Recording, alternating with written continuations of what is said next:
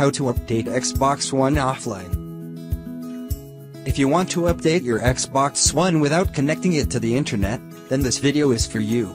This method is useful if you have set your console as home Xbox for some accounts that have games on it, and you don't want to lose offline gaming by updating the console online. As we all know, when someone set another console as their new home Xbox, then all accounts on the previous console don't have the ability to play those games offline when the console reconnected to the internet. The only trick to do it is by logging the game holder account back.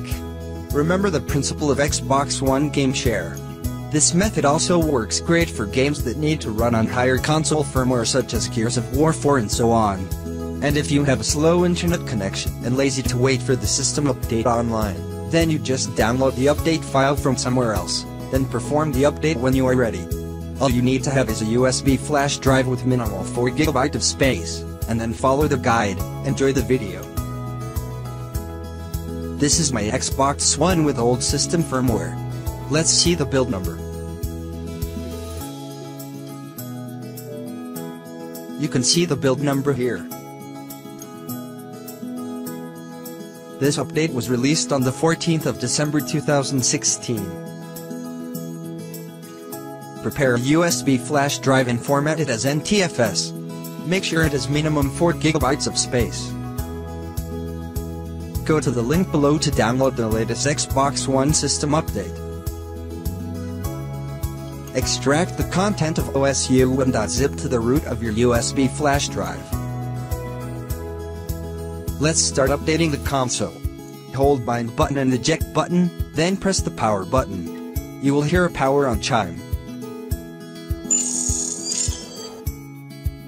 Continue holding the bind and eject button until you hear the second chime.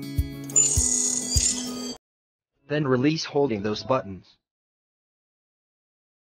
You will see the Xbox One troubleshoot screen, along with the current Xbox One system build number here. Plug the USB flash drive to the console. Now you can select the offline system update option. It will begin updating the console. When it finished, the console will restart and you should be returned to the home screen. You can go to the settings to check its current system build number. The console is on the latest system update, dated the 13th of July 2017. The OSU1.zip file will get updated all the time, so you should see different build number from my console.